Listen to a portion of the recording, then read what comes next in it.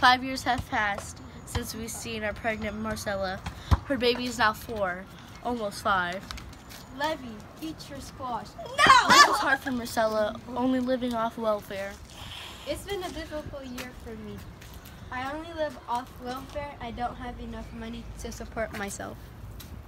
My mom is really nice to me, I guess. We broke. We ain't got no money. Marcella is 21. She's an alcoholic and a smoker. I don't have a job. The world is not fair, but the garden is. smells like smoke.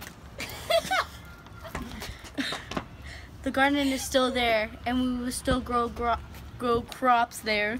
Some some new people is there as well. Mom, look at the grass. oh my. Hey, wow, our garden's so beautiful. We grass. Me and her mother have to take care of the levy. She goes out, stays out. Don't know when she will come back sometime. I love my child. I can't get enough time with her. But you had to admit that I'm a good mom. Yeah, not deep.